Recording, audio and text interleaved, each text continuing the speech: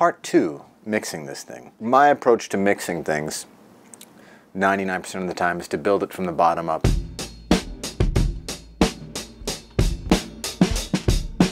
What we could mess around with is this, the attenuation and the boost.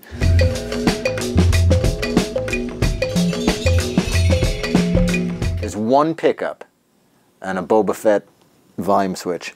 Slap chamber one dark.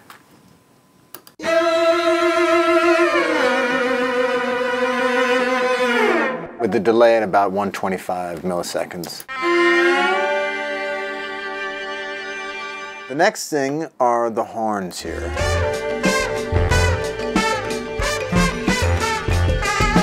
My approach these days is to lower things so that you don't knock up against your headroom and then get to a place where your hands are tied and everything is it has to be compressed or limited and you're stuck.